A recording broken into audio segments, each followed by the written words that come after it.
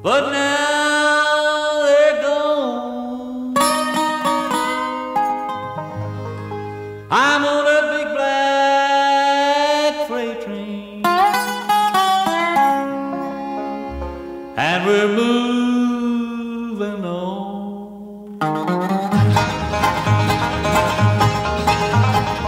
I'm on a big black train, and I'm moving on. I'm on a big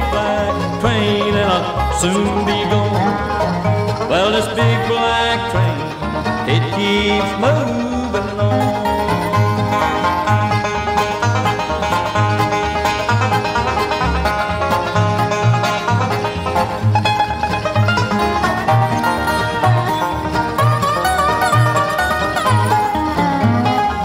Well, if you want me, baby, better get on the track. Got a one-way ticket and I won't be back. Well, this big black freight train. Um, This town was built on hard work. Um, I think through the years of depression and so forth that went on, the, the town just kind of deflourished and it just hasn't been able to bring itself back out of that. We have a lot of older buildings now that, because there are no longer businesses in them, are starting to deteriorate.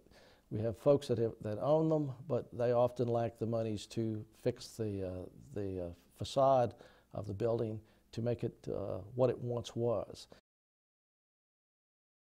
downtown Crewe, be it two blocks long, has so much to offer. The people from Booker's that are keeping the small little hardware going because there's no big hardware, thank goodness, here. Um, the drugstore next door, a small town drugstore, nothing big like Walgreens or CVS. You have a quilt shop a few doors down. The quilt shop is wonderful, giving lessons and you know sewing lessons and making quilts. We have so much to offer. An uh, uninspired mind would look at Main Street and think, ugh. But if you really take a minute to look at Main Street and look at these beautiful brick buildings, and you have to use your imagination a little bit, but you can really see something, you know, beautiful underneath all of this, all of these places that have been left behind and kind of forgotten about. you know, I was explaining to um, Kate why it was important for us to come here and why revitalization is so important.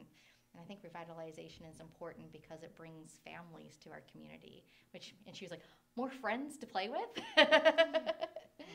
We have great people that want Crewe to do better.